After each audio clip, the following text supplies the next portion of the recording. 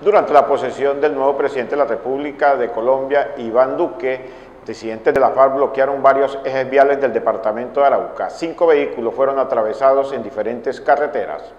Durante la posesión del nuevo presidente de la República de Colombia, Iván Duque, tres carreteras del departamento de Arauca fueron bloqueadas con cinco vehículos que fueron atravesados al parecer por disidentes de la FARC. La capital de Arauca el día anterior se encontró incomunicada. El primer vehículo tipo volqueta fue atravesado en la vía que comunica el municipio de Tame con Fortul, en la vereda Aguaviva, dejando un paquete debajo del camión y metros más adelante fue atravesado un carro tanque, dejando incomunicado a estos dos municipios. En la carretera que comunica los municipios de Saravena con Arauquita, fue atravesado un camión tipo furgón cerca del puente del río Banadía, dejando incomunicado a estos dos municipios y la capital araucana. Los guerrilleros le pintaron grafitis alusivos a las disidencias de la FARC. También en horas de la tarde fue bloqueada la vía que comunica a la capital araucana con el municipio de Tame, cerca a Panamá de Arauca, donde ubicaron allí un camión tipo furgón en este eje vial. Y en las horas de la noche también fue bloqueada la vía que comunica al municipio de Saravena con Cubará, Boyacá, donde guerrilleros ubicaron un camión tipo furgón en este eje vial.